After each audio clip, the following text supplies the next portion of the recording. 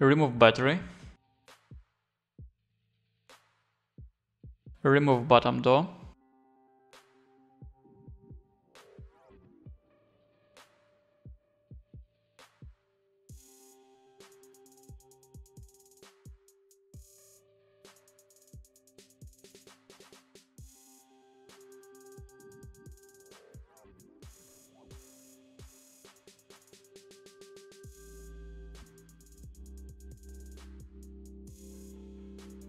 Disconnect antenna cables.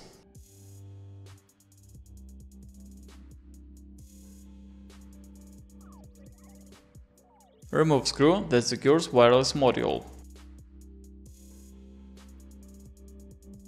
And now it can be removed or replaced.